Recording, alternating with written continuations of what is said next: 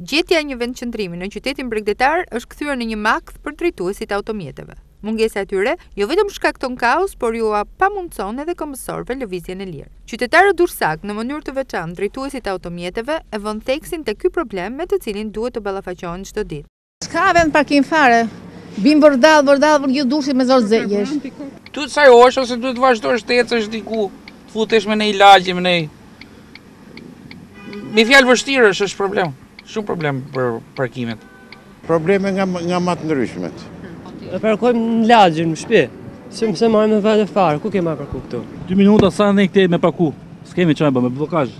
Sipas drejtuesve të automjeteve jo vetëm nuk ka hapësira të lira, por edhe nëse gjen, subjektet private nuk të lejojnë të parkosh, duke e thelluar edhe më tej problematikën. Supozohet të jenë rrugica për dyqanet, nuk nuk ndalon dot. Këto edhe dyqanet i bllokojnë kështu. Pjesa më e madhe për shembull që janë me makinë nuk munden me ndalu aty. Drejtuesit e automjeteve jo rrallë dorëzohen përpara kësaj situate, duke parkuar në mënyrë të gabuar dhe duke rrezikuar të dënohen nga policia rrugore për shkelje të ligjit. Por, nga ana tjetër, qytetarët deklarojnë se gjithsesi zgjidhja nuk mungon. Nga ma të ndryshmet, duhet të krijohen parkexhe apo apostafat për makinat.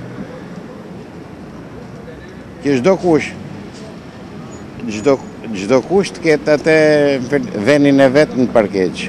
Vend parkime, hapësira për shembull personale për për makinat që të them unë, varet, këtu është katastrofë.